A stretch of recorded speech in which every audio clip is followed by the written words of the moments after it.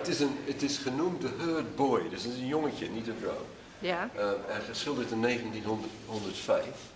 Maar het is, het is een Indiaanse jongen op een, op een ja, soort mager paard in het hele felle sneeuw. Het is een fel licht, heel, heel koud, groenerig wit licht. En in de achtergrond is ja voor ons verschrikkelijk romantisch. Is er een klein, uh, een klein dorpje, kan je zeggen, van Indianen, van tenten. En mooi, simpel geschilderd. Alles staat helemaal, wat belangrijk is, helemaal in het midden van het schilderij. Ja. Je, je kan niet missen wat het is en waar het over gaat.